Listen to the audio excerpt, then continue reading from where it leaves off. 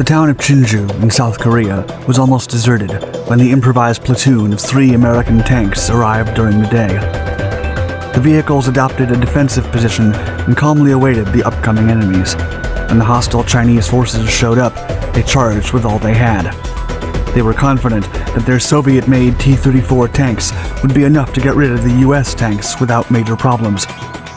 But as the enemy approached, the 30 and 50 caliber gunners from the American tanks opened fire with lethal accuracy. To the Chinese dismay, one of their rounds simply bounced off a US vehicle. It was then that they realized they were not fighting the usual M24 Chaffee tank, but a 46-ton M26 Pershing, armed with a powerful 90mm gun. The Chinese didn't stand.